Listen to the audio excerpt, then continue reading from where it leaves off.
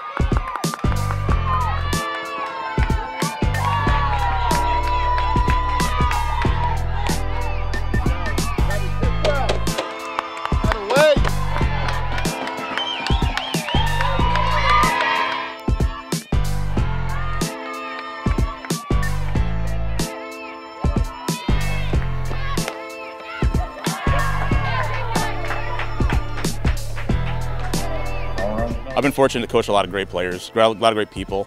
Um, you know, I like I guess I looked at like I told them the most important thing to me about today was the fact that we get a bye in the first round and get a chance to play for a championship tomorrow. You know, and the win is great, but that's just to me it's everything with the players, past players, pre previous players, all the people have done for our program. You know, and you appreciate everything that they did for us.